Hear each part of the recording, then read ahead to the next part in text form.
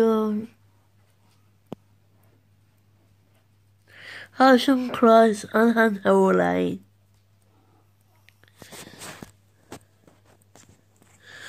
I'll see you soon. I'll see you on Monday. Bye.